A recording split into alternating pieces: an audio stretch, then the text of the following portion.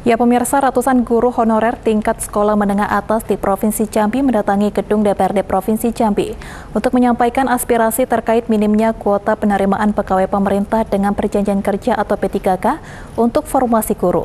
Ratusan guru tersebut diterima Komisi 4 DPRD Provinsi Jambi yang membidangi pendidikan dan beraudiensi.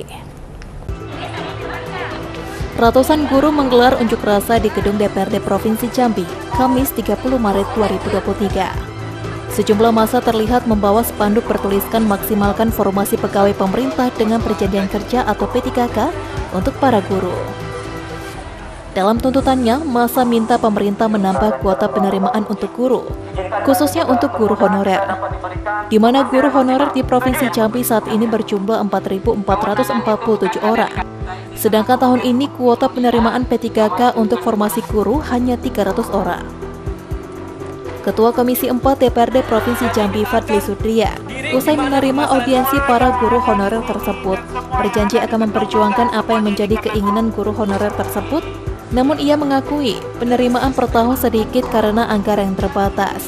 Namun demikian, tentu tetap kita mendorong pemerintah daerah lobby-lobby ke pusat supaya melebihi di angka tersebut sehingga dana DAU kita bertambah. Bertambahnya dana DAU untuk P3K juga bertambah juga penerimaan.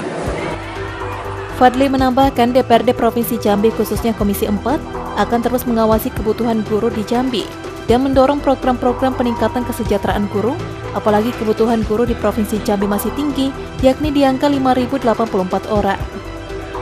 Rian Cencen, JEK TV, melaporkan.